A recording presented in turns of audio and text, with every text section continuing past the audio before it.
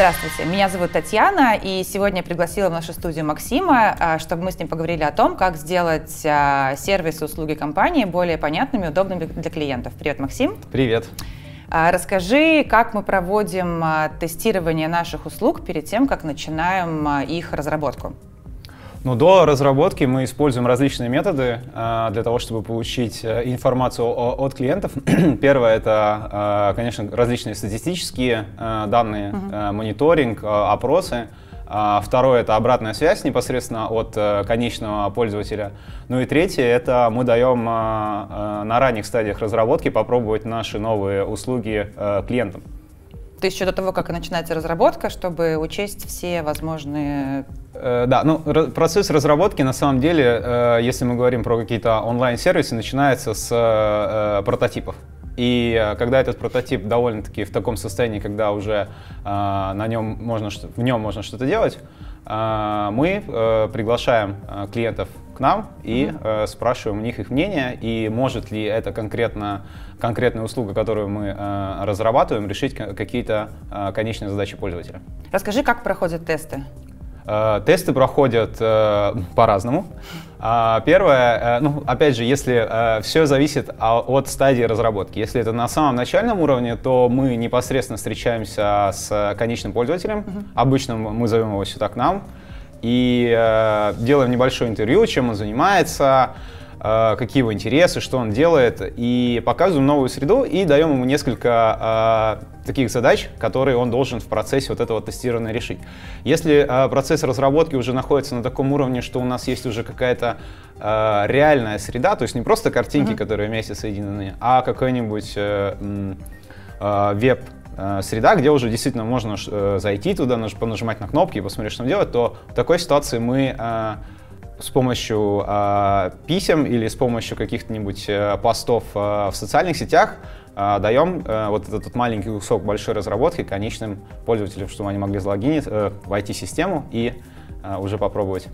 Ну правильно, получается, потому что все пользователи разные, но наши услуги должны подходить э, любому человеку, поэтому важно знать э, общее мнение. И одно дело то, как мы видим наши услуги сами внутри фирмы, другое дело, как их видит конечный пользователь и как он о них понимает. Да, что очень часто бывает, что мы видим, конечно, наши услуги совершенно по-другому, да. как это э, видит конечный пользователь, и какие-то задачи, которые мы хотим, чтобы он решать, ну, решал бы, а в наших средах он вообще об этом не задумывается, например. Угу.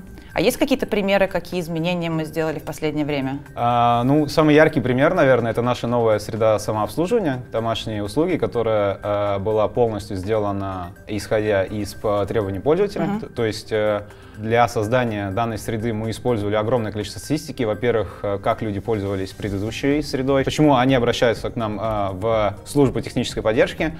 Э, и на основании этих данных мы придумали абсолютно новую концепцию дизайна, которую мы протестировали несколько раз на наших конечных пользователей. И тестирование как раз-таки проходило в несколько этапов. Первый этап это был исключительно картинки, а второй этап это уже были картинки, где можно было что-то нажать. Третий этап это уже был как раз-таки вот эта вот онлайн-среда с, со специальной ссылкой на нее, угу. куда могли попасть только люди, которым мы эту ссылку дали. То есть, учитывая комментарии на каждом пункте, в угу. шаге можно получить в итоге продукт, который подойдет любому пользователю. Э, да, но это только, э, скажем так, в процессе разработки. Угу. Если мы говорим про среды, которые уже, э, скажем так, в лайве, которыми уже люди пользуются, то очень большая часть информации, которую мы получаем для, для дальнейшей ее оптимизации uh-huh. и, и дальнейших разработок, это как раз-таки обратная связь, которая находится в самой среде. Uh-huh. То есть э, э, люди или ну, пользователи, которые заходят куда-то, у них есть какие-то ожидания, что они хотят делать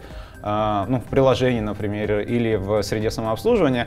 И если они не видят э, э, или не могут это сделать, либо для них это сложно, либо такой функциональности вообще нет, вообще нет, то э, в такой ситуации им очень просто написать нам обратную связь, uh-huh. и это получаем, э, во-первых, э, э, люди, которые связаны с руководством проектом, и также э, вся э, команда разработчиков. Uh-huh. Скажи, а почему классно пользователю, клиенту прийти и попробовать наши услуги, протестировать и так далее? Ну, потому что, э, э, во-первых, увидеть, что происходит, что э, нового мы делаем, и э, увидеть это раньше других. А, и а, мне кажется, что довольно-таки интересно поучаствовать во всем этом процессе разработки, и особенно, а, когда ты видишь, что то, что ты предложил, действительно угу. сделали, оно работает так, как ты хотел. Угу. Скажи, ты бы мог посоветовать, в принципе, любому предприятию тестировать свои услуги?